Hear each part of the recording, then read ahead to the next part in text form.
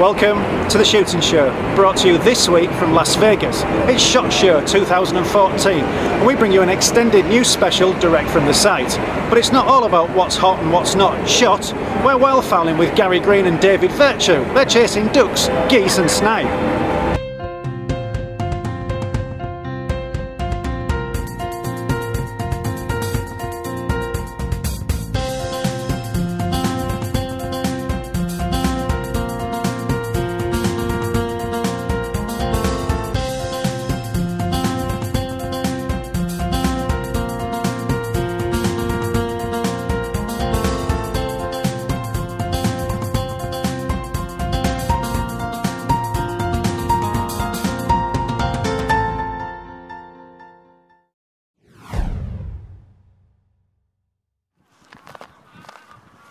Gary Green is out at the geese again on his second day in the Orkneys. Today, the boys have put the coffins away and headed straight to a field on a regular flight line to hopefully intercept the incoming geese and tempt them in with the decoys. We'd done a recce yesterday for where we were going to possibly go for an early morning flight on some geese. I was up, I think, first, about six. Had a nice early shower, and uh, off we toddled, I think, about seven.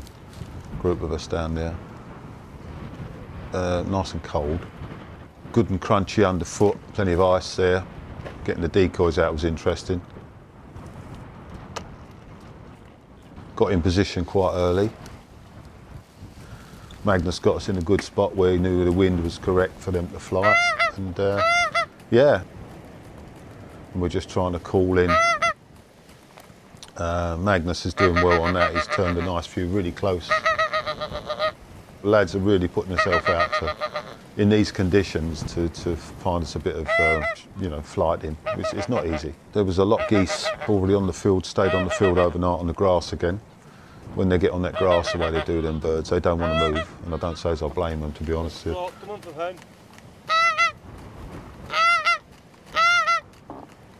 But a lot of uh, geese flying in off the sea, which was interesting.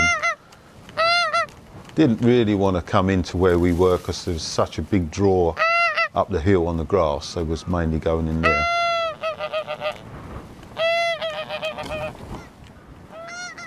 Unfortunately, the rough weather appears to have taken its effect on the bird's usual flight pattern.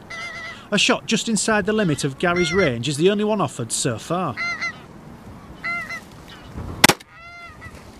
The first opportunity comes to nothing, and it's back to the watching and waiting and as the day gets lighter, their cover is only becoming less effective, so Gary and Magnus thicken it up with some reeds, forming a much more effective makeshift hide.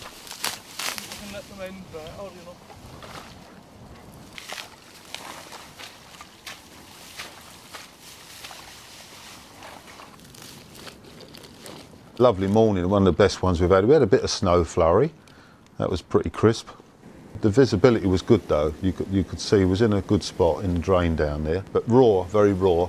Not for everyone, I should think. But uh, I knew we weren't going to be forever down there. It's nice to think coming back to a nice warm, dry place and good breakfast. It's interesting the way the weather changes so quick here at the minute. We're up and down the country. I know we're all having storms and gales and that, but here it just can be like really comfortable one minute and then just completely almost like Arctic conditions the next.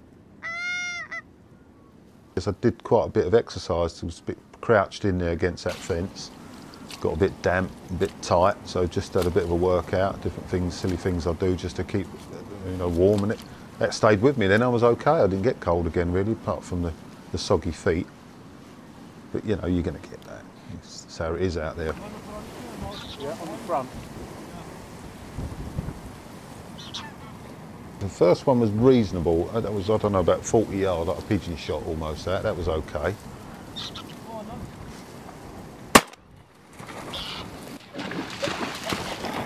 Down as well, well done. Nice one. That's a bit of range. yeah, that's it. Well done.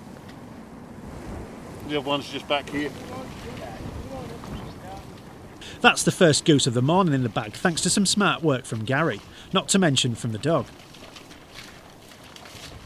The dog worked exceptionally well. Felt a bit bit guilty about putting him out for a few. Poor fellow, he's uh, shaken. Could hear his teeth chattering at one point there.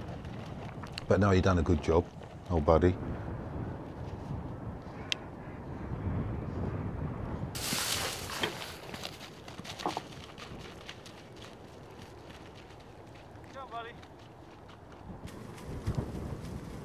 Bad as it was first thing.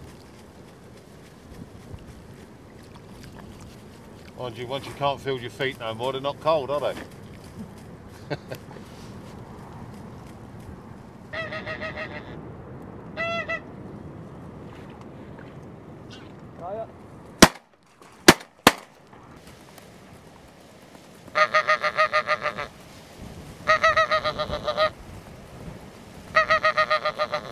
As the day warms up, the geese are starting to show more interest in the deeks. Then Gary gets a golden opportunity.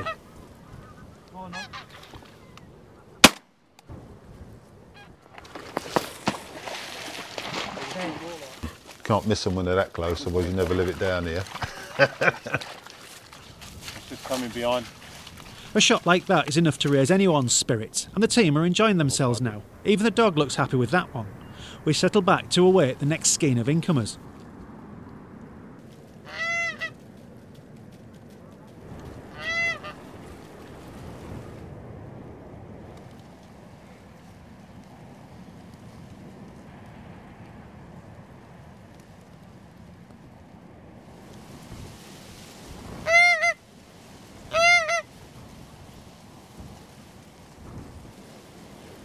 It's been a stop start morning, with many geese opting to camp out on the grass fields instead of coming in to attempt in feed. But some persistent calling does draw in another bird. Single behind you.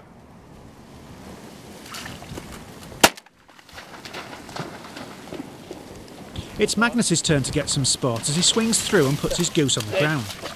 As Gary reflects, geese can be tricky flyers, and simply getting one overhead is no guarantee you'll be able to shoot it.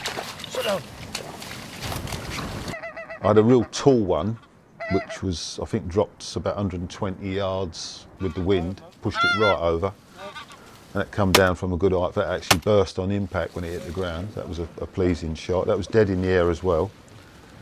But the lead on them is a very, uh, very strange. You think you've got it right, and you can be miles out. I think I put a bus length on one of them. I more or less doubled the lead I was given, and had a, you know, a dead, a dead bird in the air at sort of 80 yards almost. So it just shows you what you need on some of them. They look slow, but they're really shifty. Oh, hit the ground hard anyway. Boston nice. Yeah, I think they've accepted me now after that shot. Come in.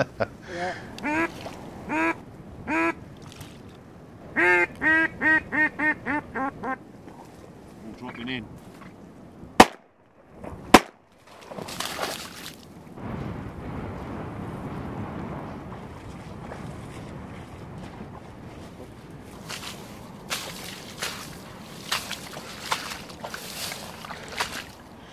With one final retrieve, the morning's flight is complete.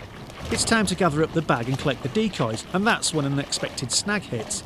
The deeks are frozen into the lock, and one southern soul shows he's made of stern stuff. Gary is clearly going to get wet on this one to fetch them out.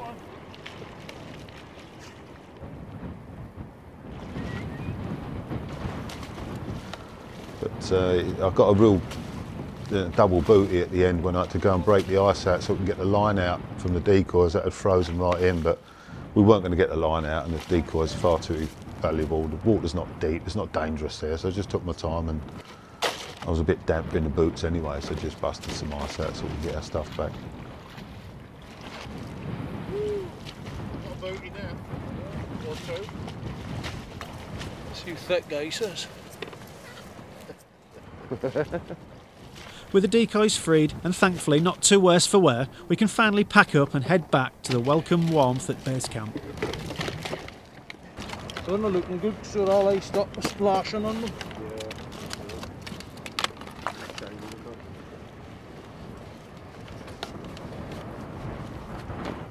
Yeah, good variation of different types of variety of birds down there. A hell of a lot of stuff coming in there. So I think I had three or four goose there and a couple of free duck. And uh, there was a couple of snipe shot as well. But not by me, but it was nice to see see them as well.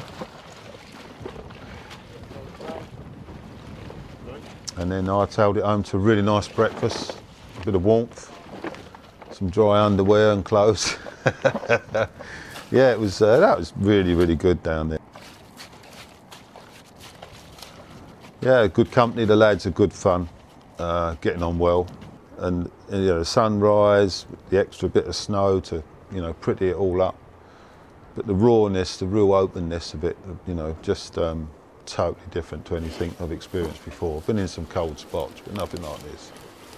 Mind you, I think that old Fox box has been spoiling a bit with the eaters on this time of year. Could have done with that out there or a cup of tea. Sir, sir. I'll let you through here, yeah?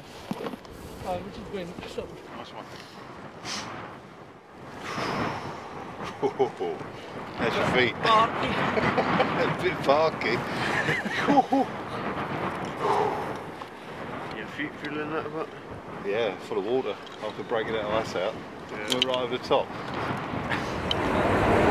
Gary Green there sharing some hard won success and braving the elements. And now, the shooting show news.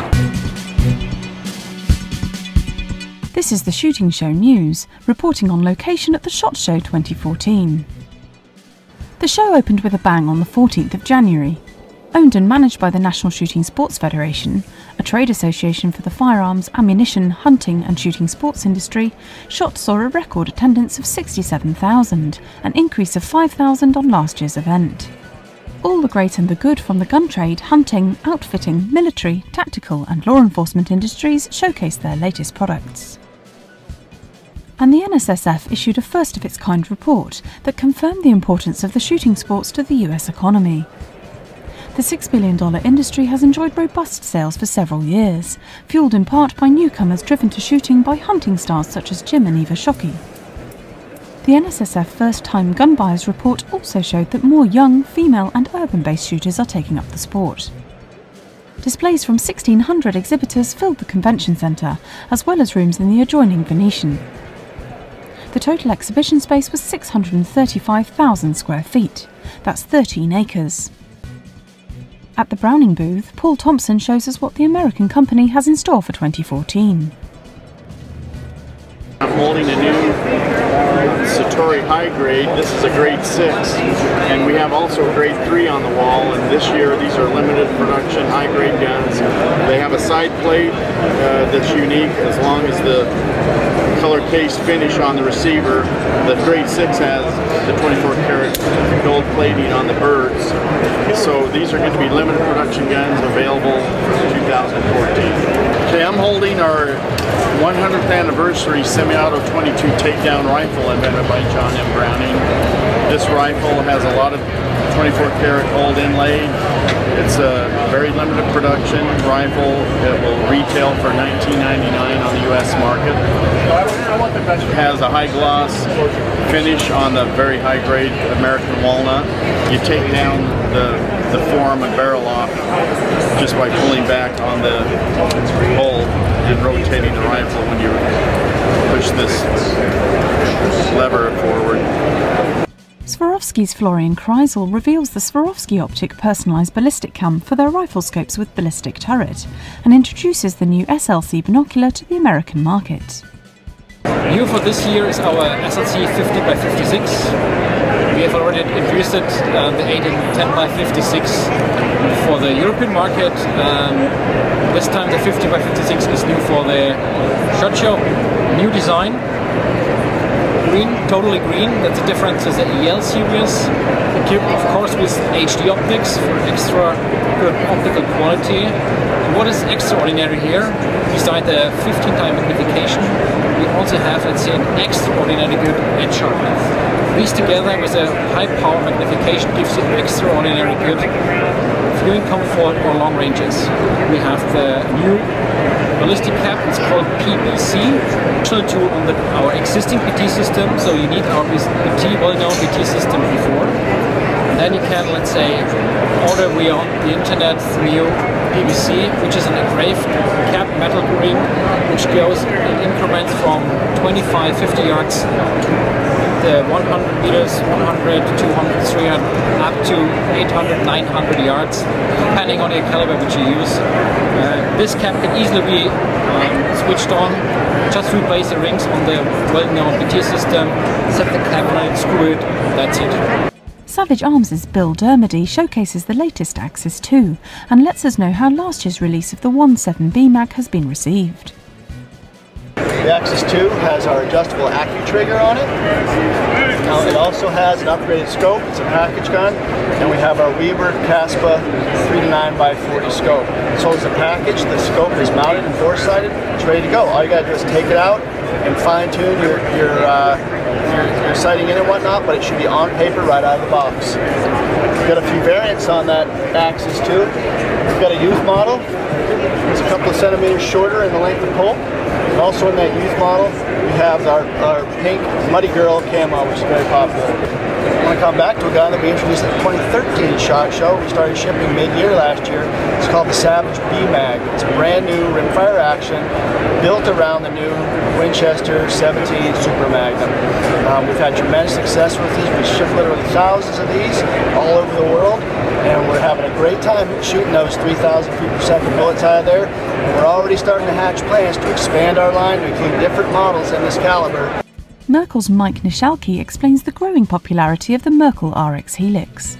This is the Merkel RX Helix. This is the Alpinist uh, model. It basically was introduced this year, along with another polymer version of the rifle that was introduced, the RX Helix that was introduced about three years ago. This one rifle could be changed from 222, 223, up to 300 Win Mag in a matter of about 30 seconds. It's uh, relatively simple to do. Um, take the uh, fore end off. There is a bar that rotates up and away. Now comes the barrel. Basically, if I wanted to go from 222 to 300 Win Mag, it's a matter of I'm going to change the magazine, I'm going to change the bolt, and I'm going to change the barrel. Basically, it's probably going to take me longer to reset my scope than it is to uh, to do all of those things above. So. Chip Honeycutt of Crosman showcases the Pumpmaster 760. Hey guys, this is Chip from Crosman. New for 2014 is a makeover of this Pumpmaster 760. It's completely new from the ground up. And we did this, we started with restyling the stock. We moved to the valve. This gun is easy to cock, it has a consistent cocking force through every pump. Pump it from 3 to 10 times to vary your velocity, and the 10th pump is just as easy as that first pump. It comes in the black synthetic. It's also available in new granite pink. Some beautiful colors, some, some pink and black swirl. And it's got a, a steel barrel. So check it out and learn more at crosby.com. Finally, Eley's Thomas Atienza explains the success of Eley Bismuth. We've been selling bismuth in the US for quite a long time. Um, if you remember, we had the patent um, since the beginning, and it's been a very successful product. Now, we've seen the trend in, in this country to grow, and uh, last year we sold more cartridges, more bismuth cartridges than ever. It's all to do really with uh, the uh, shooter that uh, doesn't really want to risk the, uh, the effects of steel and they don't want to pay the extortionate price of uh, tungsten-based products. So they rely on the, um, the shooting to the bismuth product. It's also to do with a lot of shooters holding in English guns, which for which the product is ideally suited. That was the Shooting Show News.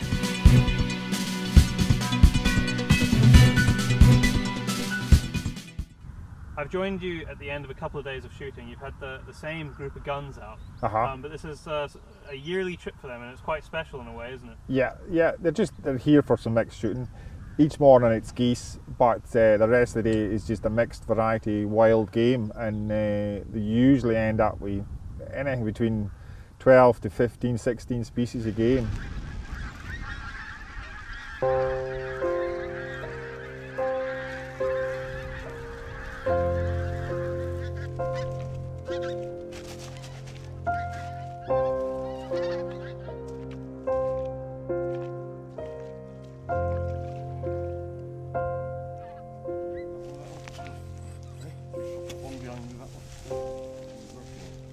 What is it about the, the borders that makes um, shooting such a large variety of game possible?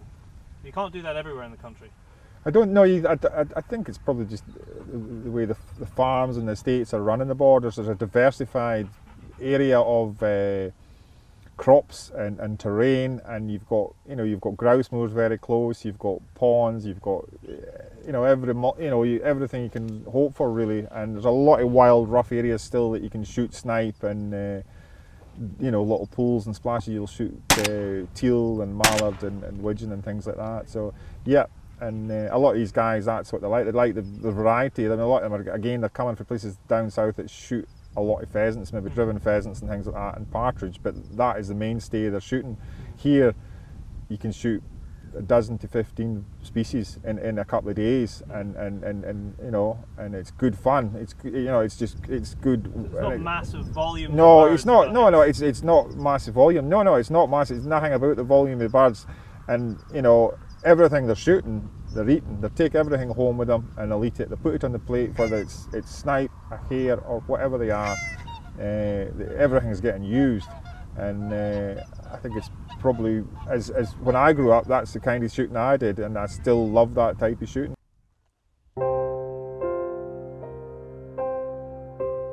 With the decoys established and dawn breaking, the first large skein flies into view. The guns, who have been waiting a good few hours for their chance, ready themselves for action.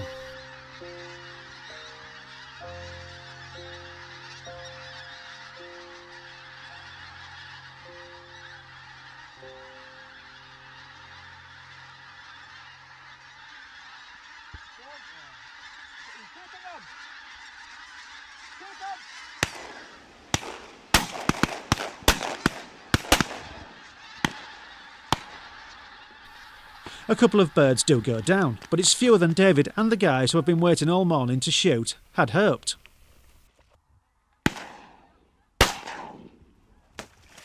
This morning when we arrived, uh, there were a lot of geese on that splash already. Yeah, a lot of geese on there and a lot of duck as well, and it wasn't a big splash, but you know, it, they just obviously liked it and wanted to stay there overnight, and that's it spoiled the shooting a wee bit, but we still got a good variety shooting, and you know, they took some of the chances when they came in. And, There's a big skein that came in. Yeah, big, big skein, and I think we shot three out of it when there should have been probably four or five. But that's the way it goes. Yeah. You know, that's the way it goes. It was good just to see it coming in like that, and it was, you know, it came in well enough. It decoyed well enough. Uh, the guys just didn't shoot straight. And uh, what have you got in store just now after we've had breakfast? We're going to do another little snipe bog, and there'll be there's a pond in there. There'll be teal, mallard, maybe some widgeon, uh, I've, have had pintail and that in there in the past, uh, and we'll shoot that, and then they're having a wee walk up at grouse later on. Hopefully, shoot a few grouse, uh, and maybe get a hare or two. They might get a white hare. They're on, they're on 12 right now, so it could be 15, 12 species. I would have thought if they're not on 15 species by the end of the day, it'll be very funny. Yeah, yeah. With the decoys and hides packed away, David leads his guns on some walked up shooting, trying to boost their species count for the weekend.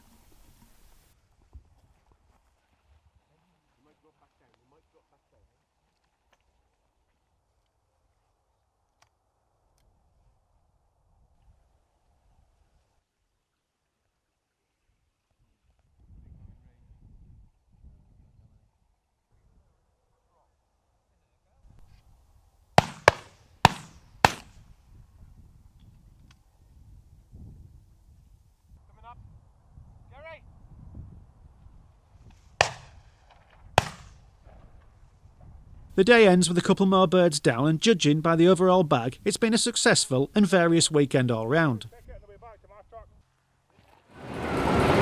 Well, that's it for this week. Thanks for watching. Please don't forget to like us on Facebook and follow us on Twitter.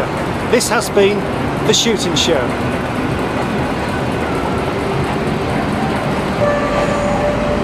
Only in Vegas.